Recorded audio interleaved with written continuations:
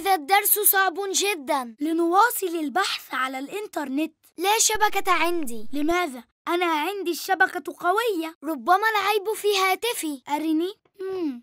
نعم عندك مشكلة في البرمجة سأحلها لك حالا هل تفهم في برمجة الهاتف؟ ومن يفهم أكثر مني في ذلك؟ أرى أن نرسله إلى فني متخصص وفر عليك مالك الفني لن يفعل أكثر مما أفعله أنا الآن ستعيد البرمجة؟ نعم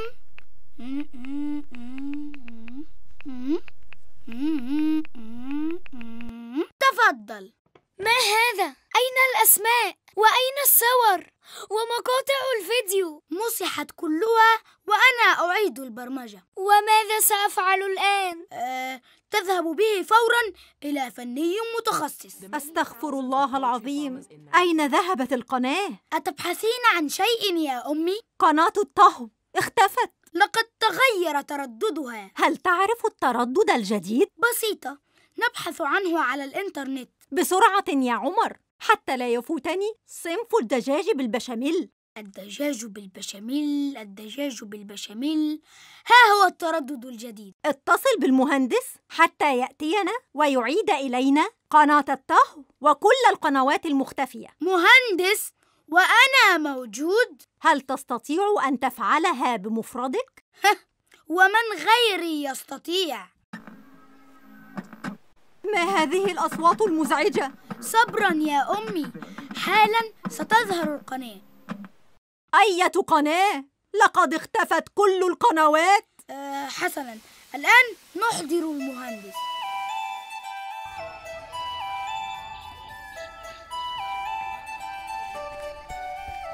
ياسين ياسين هل خاصمتني يا ياسين؟ أنسيت ما فعلته بي؟ أصلحت لك جوالك بل أفسدته فأخذته أمي مني وأقسمت ألا تعيده لي حتى آخر الشهر لأنك تعبث به كثيرا يا ياسين أنا الذي أعبث به؟ نعم ألم أنصحك مرارا أن ترسله إلى الفني المتخصص؟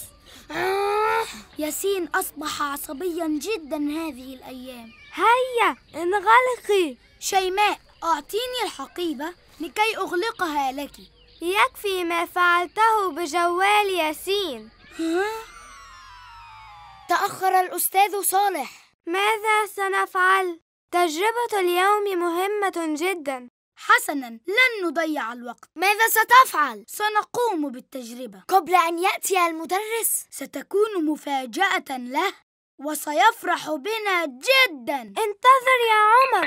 لم نقم بهذه التجربة من قبل. لابد لنا من مرة تكون هي أول مرة.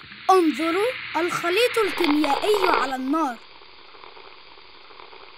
وما هي إلا دقائق معدودة حتى نحصل على الغاز المطلوب.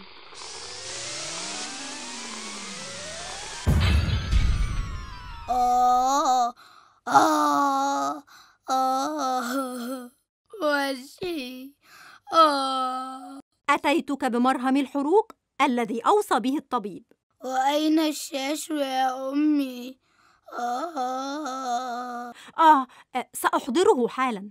آه آه شفاك الله يا صديقي. أرأيت ما حدث لي يا إمام؟ آه أنت الذي فعلت بنفسك كل هذا. أنا؟ آه نعم لأنك تفتي بغير علم وتتصدى لما لا تعرف. أستحي دائما من أن أقول لا أعلم. آه عليك أن تستحي من أن تقول أعلم وأنت لا تعلم وهل قلت أنت لا أعلم من قبل؟ كثيرا جدا لقد رفضت الفتوى في أمور كثيرة أكثر من الأمور التي أفتيت فيها لماذا؟ لأني رأيت علماء أفقه مني في هذه الأمور ولقد نهانا رسول الله صلى الله عليه وسلم صلى الله عليه وسلم. عن أن نفتي بغير علم ومقولة الله أعلم هي نصف علم. قل لي إذا ماذا فعلت مع طالب العلم الذي أراد سرقة كتابك في بغداد؟ هل عفوت عنه؟ آه آه. يا بخاري اعترف عاصم بأنه هو من أرسل إليك اللص الذي حاول سرقة كتابك. إن عفوت عنه أطلقنا سراحه وإن لم تفعل قبضت عليه الشرطة ونال عقابه. ماذا تقول يا بخاري؟ أقول ما قاله الله في كتابه. بسم الله الرحمن الرحيم. وأن تعفوا أقرب للتقوى. صدق الله العظيم. وأفعل ما فعله رسول الله صلى الله عليه وسلم مع أهل مكة عندما فتحها. العفو عند المقدرة. جزاك الله خيرا أن سامحت تلميذي يا بخاري. عساه لا يعود إلى ذلك يا شيخنا. بإذن الله لن أعود ابدا. المهم أن يسامحني شيخي. سامحك البخاري صاحب الحق. أما أنا فلن أستطيع أن أعيدك إلى مجلس علمي حتى أتأكد من أنك تعمل حقا بما تعلمته مني. فالعلم ليس كلمات نرددها بل أفعال نقوم بها ولا يمكن أن يقتدي بنا الناس ونحن نقول ما لا نعمل ونعمل ما لا نقول. آه. تأخرت عن درس اليوم يا بخاري. عفوا يا إمامنا ولكني رأيت رؤيا في المنام. قمت بعدها حائرا مرتبكا. أية رؤيا؟ رأيت رسول الله صلى الله عليه وسلم. عليه الصلاة والسلام. ما شاء الله هذا فضل عظيم. ففي الحديث الشريف من رآني في المنام فقد رآني حقا. فإن الشيطان لا يتمثل بي. آه الحمد لله. ولكني لا أفهم معنى الرؤيا التي رأيتها. وماذا رأيت؟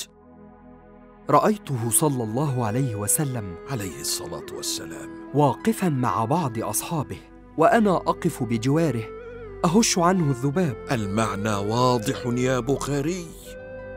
كيف يا إمام؟ تهش الذباب عن الرسول يعني تدفع عنه الكذب الذي يدعيه بعض واضعي الأحاديث الكاذبة ويفترون على الرسول بما لم يقله تقصد أنني بجمعي للأحاديث الصحيحة وتحري الصدق فيها واستبعاد الأحاديث الموضوعة أمنع الكذب عن الرسول؟ بلا شك فإنها رسالة مهمة وضرورية. ليتني أستطيع أن أتمها على خير. ستفعل إن شاء الله. ما دامت نيتك خالصة لوجه الله. وهل ستساعدني في رحلتي إلى البصرة? وماذا ستفعل هناك؟ أتحقق من حديث نبوي قبل أن أضمه إلى كتابي. تسافر من بغداد إلى البصرة لتتحقق من حديث واحد. هذا من تفسير رؤياي يا إمام. آه حقا. أه، وكيف؟